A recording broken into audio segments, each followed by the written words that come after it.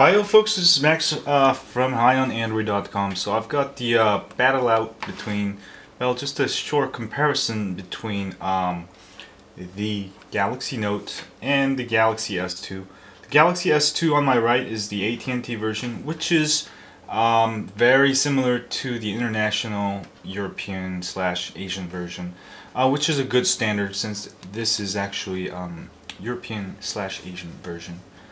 So at first, when you open up these both of these phones, um, you can see how much more real estate you have. Um, on my right is the Galaxy S2, which still only has 800 by 480, versus one on my left is 1280 by 800. Um, that's almost you know twice more resolution, um, while the size is 5.3 inches versus um, 4.3 so the size is screen size is about 30% bigger with much much higher um, resolution. As you can see I can fit almost five icons across. Um, in my app drawer you can see that I can fit um, this one actually is a modified uh, ROM that I'm using but you can still see you have more much more room um, to put apps and stuff. And with aftermarket ROMs you might be able to even put 6 by 6 on the Galaxy Note.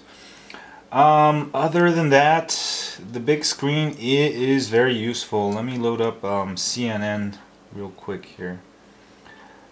That I, I was looking at this site and I would have to zoom about this much to actually read it on both of them and they're about the same size right now but you can see at this uh, much zoom you can see that on the Galaxy S2 you can kind of see a little bit pixelation versus the Galaxy S2 it's very hard to tell. Um, let me actually zoom in so you can see. So that's the Galaxy S uh, Galaxy Note here. And let me move it over to whoa.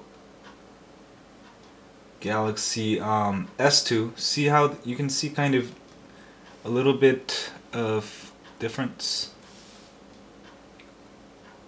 so I gotta, yeah. So let me pull it out fully all the way and zoom out. And at full zoom out, zoomed out position, um, you clearly get uh, more more out of your screen, um, as you can see here. So.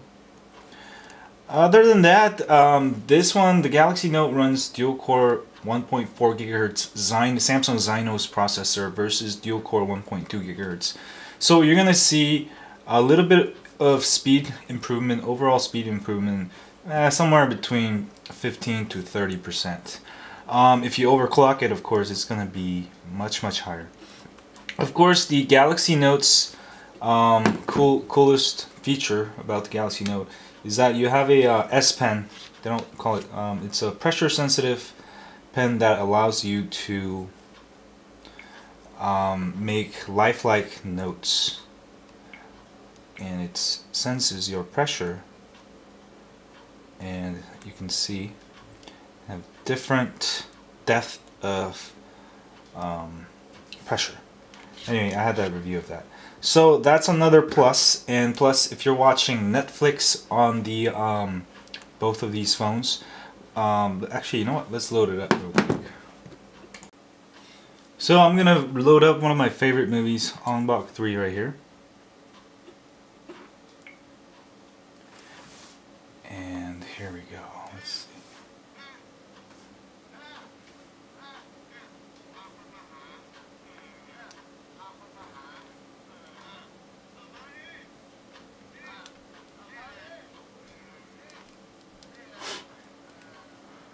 Um, it's kind of hard to tell. We'll keep it going for a little bit.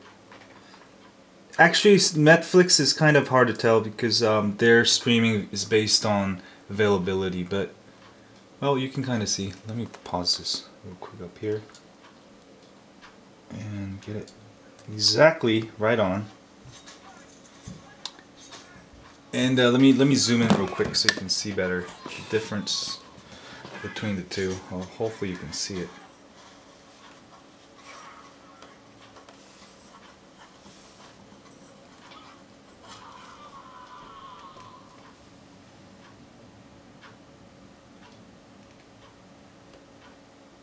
Well, hold on.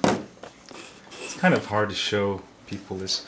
But um, the the big big um, the big idea here is that you get a much larger um, resolution as you can see, and it's you know it's a lot more satisfying on your eyes. The resolution is going to be look about the same because this one has a larger um, screen with a higher resolution.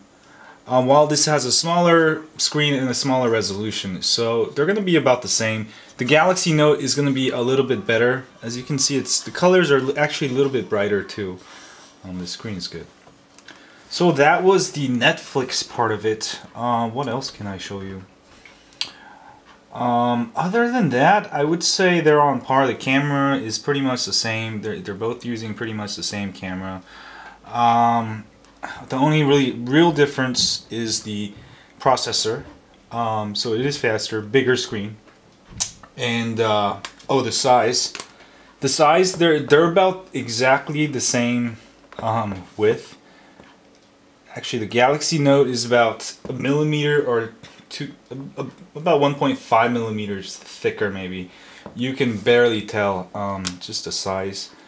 Really if you if you're looking for a device that can do something in between a phone and a tablet um, then definitely get this one. And if you don't mind the larger size um, it actually fits in your pocket really well. And for ladies you're gonna carry it in your handbag anyways um, but if you don't if you don't you know if you have small hands and you know you're a small person and you know the the big you know this Galaxy Note is going to be for hard for you to use. Um, then I would get the Galaxy S2 um, or the Galaxy Nexus. Uh, anyway, that was a short overview of um, the Galaxy Note versus uh, Galaxy S2. And for those of you with big hands, you're gonna love the you know Galaxy Note because it's it's made for you, like you know, and uh, and if you're gonna take notes in class and stuff, this thing is just awesome for taking notes. Anyway, that was, um, if you want me to compare other features of these two phones, uh, don't forget to leave in the comments. Um, I'll make another video uh, with your questions. Alright, thanks y'all and subscribe. See y'all later.